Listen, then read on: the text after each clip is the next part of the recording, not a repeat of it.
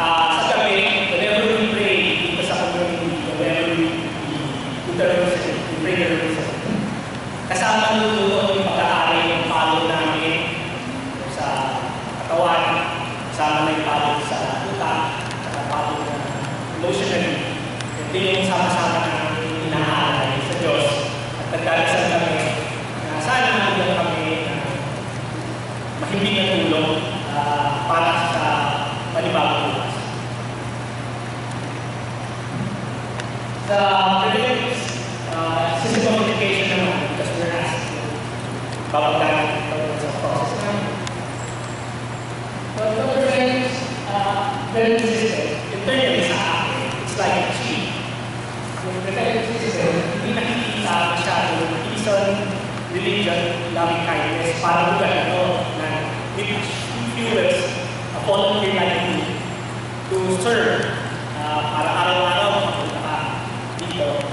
Yan ang nagtutulog sa akin.